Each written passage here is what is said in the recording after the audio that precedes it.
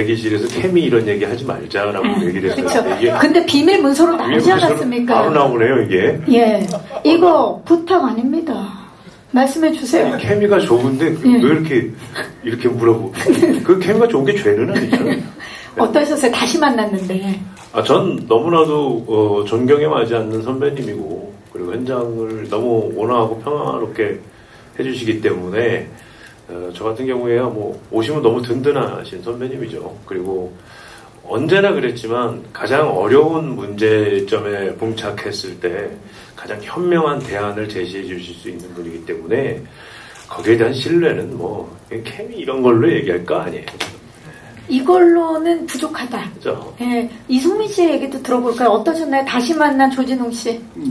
예, 뭐 아까도 말씀드렸지만 어, 진웅 씨랑 같이 연기하는 건 굉장히 설레는 일이에요.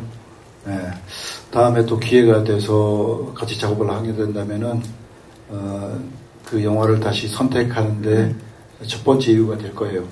예, 그리고 어, 같이 작업을 하게 설레기도 하고 어, 긴장되기도 하고 어, 그리고 친구랑 같이 연기해서 그 나타나는 그 신들의 그 뭐랄까 그 앙상블 예, 그것이 상상해왔던 것보다 늘 좋아서 어, 그 이상의 케미는 그 배우로서 서로 만났을 때 없다고 생각해요. 예. 그 다음 작품에도 진군이 또 인연이 된다면은 또 만나고 싶습니다. 뭔가 뜨거운 무언가가 막 쫙 올라오는 그런 느낌이에요. 진심. 아, 예. 진심이 느껴지니까, 어, 다음에 내가 또 작품을 선택하게 된다면 조진웅 씨가 이유가 될 것이다. 이것만큼 찬사가 어디 있을까요?